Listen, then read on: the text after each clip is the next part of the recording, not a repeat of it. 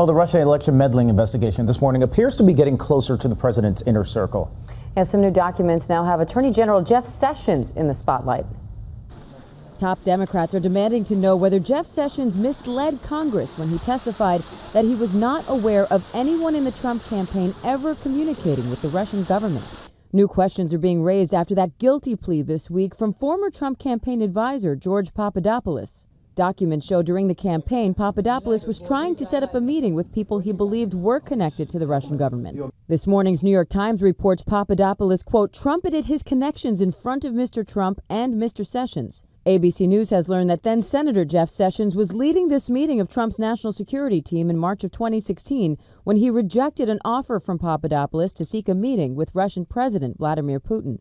But as recently as last month, Sessions again denied any contacts between the campaign and the Russians. I have never met with or had any conversation with any Russians or any foreign officials concerning any type of interference with any campaign or election in the United States. Documents released by special counsel Robert Mueller claim even after Sessions rejected him, Papadopoulos continued to push campaign officials to meet with people Papadopoulos believed were connected to the Russian government.